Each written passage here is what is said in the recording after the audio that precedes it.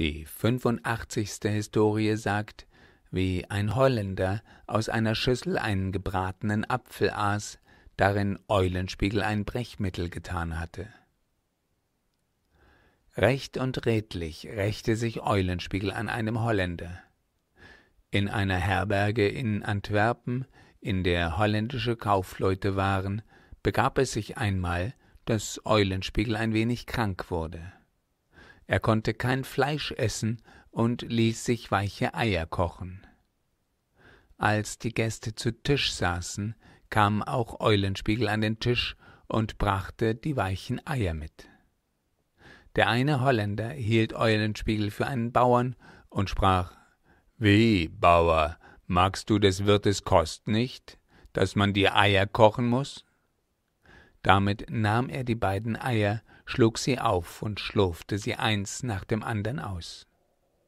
Die Schalen legte er vor Eulenspiegel hin und sagte Sieh hin, leck das aus, der Dotter ist heraus. Die anderen Gäste lachten darüber, und Eulenspiegel lachte mit ihnen. Am Abend kaufte Eulenspiegel einen hübschen Apfel, den höhlte er inwendig aus und füllte ihn mit Fliegen und Mücken. Dann briet er langsam den Apfel, schälte ihn und bestreute ihn außen mit Ingwer. Als sie nun des Abends wieder zu Tisch saßen, brachte Eulenspiegel auf einem Teller den gebratenen Apfel und wendete sich vom Tisch ab, als ob er noch mehr holen wolle.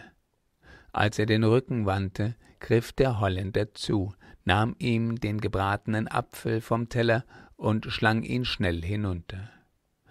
Sogleich musste der Holländer brechen und brach alles aus, was er im Leibe hatte. Ihm wurde so übel, dass der Wirt und die anderen Gäste meinten, Eulenspiegel habe ihn mit dem Apfel vergiftet. Doch Eulenspiegel sagte, das ist keine Vergiftung, es ist nur eine Reinigung seines Magens, denn einem gierigen Magen bekommt keine Kost gut. Hätte er mir gesagt, dass er den Apfel so gierig herunterschlucken wollte, so hätte ich ihn davor gewarnt. Denn in den weichen Eiern waren keine Mücken, aber in dem gebratenen Apfel lagen sie. Die musste er wieder ausbrechen. Unterdessen kam der Holländer wieder ganz zu sich und merkte, dass es ihm nicht weiter schadete. Er sprach zu Eulenspiegel Iss und brate, ich esse nicht mehr mit dir, und wenn du auch Krametzvögel hättest.